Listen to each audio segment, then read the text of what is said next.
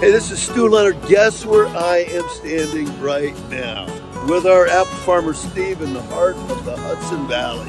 Steve's a fifth generation local farmer and family friend. Stew Leonard's has 10 varieties of apples, including local Honeycrisp, Gala, McIntosh, and many more. And taste our Stew Leonard apple cider with our fresh made apple cider donuts. That'll make your eyeballs roll around. Come visit Stew's. I'll see you in the store.